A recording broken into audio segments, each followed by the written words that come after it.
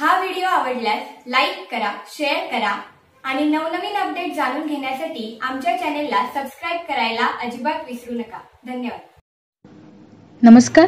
मी सौ शुभांगी अविनाश घनगाव लोकहित न्यूज चॅनलमध्ये आपलं स्वागत करीत आहे. सांगली अप्पर पोलीस अधीक्षक सौ मनीषा डुबुले यांनी सांगलीमध्ये विश्रामबाग चौक येथे ट्रॅफिक पोलीस पॉईंटवरती पोलिसांच्या कोविड नाईन्टीन पासून संरक्षणाकरिता व पोलीस व प्रवासी नागरिकांमध्ये सोशल डिस्टन्स राहावा याकरिता बेरे कॅटिंगचा वापर करून एक खास चेंबरची स्थापना केली ज्यामुळे पोलीस व प्रवासी दोन्ही सुखरूप राहतील. काल सांगली जिल्ह्यामध्ये बऱ्याच पोलीस कर्मचाऱ्यांना कोरोनाची बाधा झाली असून सांगली पोलीस दलामार्फत पोलिसांच्या संरक्षणाकरिता अनेक उपाययोजना राबवण्यात येत आहेत. सध्या सांगली जिल्हा पोलीस प्रमुख सोहेल शर्मा पूर्ण सांगली जिल्हा फिरून नागरिकांना व पोलिसांना कोविड नाईन्टीन बद्दल जनजागृती करताना दिसत आहेत. या बातमीचा आढावा घेतलेला आहे आमचे प्रतिनिधी विजय हुपरीकर यांनी. धन्यवाद. कोरोनाचा जो वाढता प्रादुर्भाव आहे त्या अनुषंगानं सांगली जिल्ह्यामध्ये संपूर्ण लॉकडाऊन दिनांक बावीसपासून ते तीसच्या रात्री चोवीसशे वाजेपर्यंत करण्यात आलेला आहे.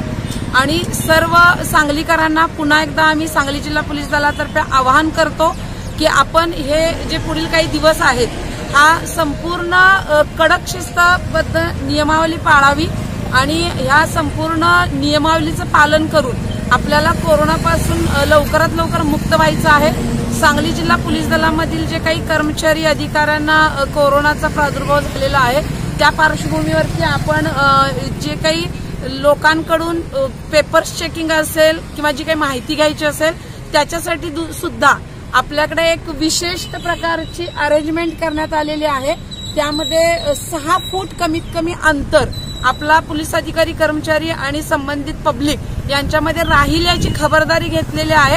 आणि आपल्या प्रत्येक नाकाबंदी पॉईंट्सवरती अशा पद्धतीची सुविधा करण्यात आलेली आहे जेणेकरून जे डिस्टन्सिंग आहे ते चांगल्या पद्धतीनं पार पाडलं जाईल आणि आपले जे पोलीस बांधव आहेत सर्व आमचे अधिकारी कर्मचारी ते सुरक्षित राहतील पुन्हा एकदा सर्व सांगलीकरांना आमचं आवाहन आहे की आपण आमची आणि आपल्या स्वतःची सर्वांची आपल्याला काळजी घ्यायची आहे. यासाठी लॉकडाऊनचे सर्व नियम पाळा आणि विदा का जर काही आपलं काम नसेल तर घराच्या बाहेर कृपया पडू नका